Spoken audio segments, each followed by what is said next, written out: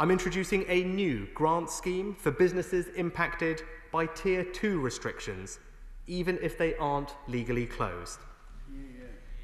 We will fund local authorities to provide businesses in their area with direct cash grants.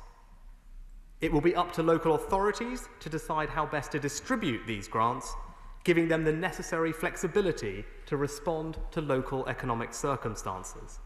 But I'm providing enough funding to give every business premises in the hospitality, leisure, and accommodation sectors a direct grant worth up to £2,100 for every month Tier 2 restrictions apply.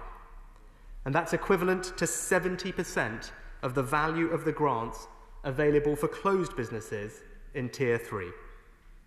And crucially, I am pleased to confirm these grants will be retrospective.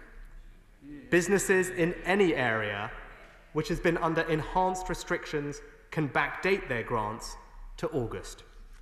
I have been listening and engaging with colleagues around the House, including but not only my honourable friends Sir Heywood and Middleton, Hyndburn, Penistone and Stocksbridge, South Ribble, Burnley, Keighley, Cheadle, Leigh, and Southport.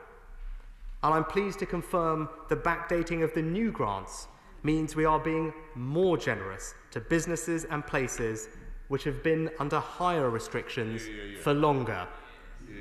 Let no one say, Mr. Speaker, this government is not committed to supporting the people and businesses in every region and nation of the United Kingdom.